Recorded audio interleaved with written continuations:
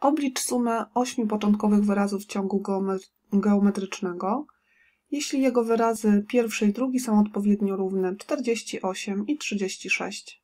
W zadaniu wykorzystamy wzór na sumę n początkowych wyrazów ciągu geometrycznego, czyli mamy Sn, to jest A1 razy 1 minus q do potęgi n tej przez 1 minus q gdzie A1 to jest y, pierwszy wyraz y, tego ciągu, natomiast Q jest y, ilorazem tego ciągu. Wiemy, że pierwszy wyraz wynosi 48, więc do obliczenia S8 potrzebny nam jest jeszcze iloraz tego ciągu, czyli Q. Znając dwa wyrazy mm, sąsiednie, możemy to Q obliczyć. Wiemy, że pierwszy wyraz razy Q daje nam wyraz drugi, Czyli aby obliczyć Q, wystarczy drugi wyraz podzielić przez pierwszy. W naszym wypadku drugi wyraz to jest 36, a pierwszy wyraz to 48. Zarówno licznik, jak i mianownik możemy podzielić przez 12, czyli w liczniku dostaniemy 3, e, a w mianowniku dostaniemy 4. Czyli Q wynosi 3 czwarte. Teraz możemy już policzyć S8 czyli S8 to jest A1 razy 1 minus Q do potęgi ósmej przez 1 minus Q. Podstawmy nasze dane, czyli podstawmy A1 i Q. A1 wynosiło 48. W liczniku mamy 1 minus, pod Q wstawiamy 3 czwarte, do potęgi ósmej, a w mianowniku mamy 1 minus 3 czwarte. Dostaniemy 48 razy. W liczniku najpierw potęgujemy, potem będziemy odejmować.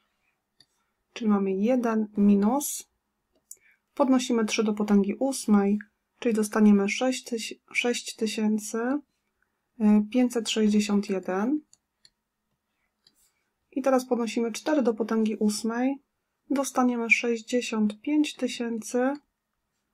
536. W mianowniku natomiast zostanie nam 1 czwarta. Teraz zamiast dzielić będziemy mnożyć przez odwrotność mianownika, czyli dostaniemy 48 razy 4 pierwsze, czyli po prostu 4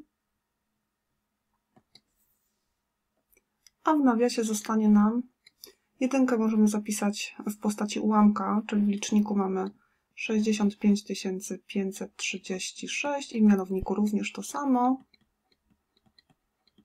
I odejmujemy ten drugi ułamek, czyli 6561 i w mianowniku 65 536. Czyli nasze S8 wynosi po pomnożeniu 48 razy 4 dostajemy 192. Natomiast, y, natomiast y, po odjęciu liczników dostaniemy 58 975. Licznik przepisujemy.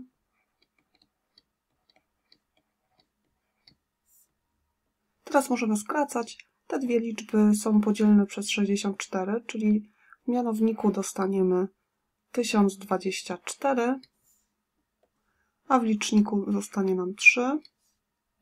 I teraz już tylko pomnóżmy liczniki, czyli w liczniku dostaniemy 176 925, w mianowniku zostaje nam 1024.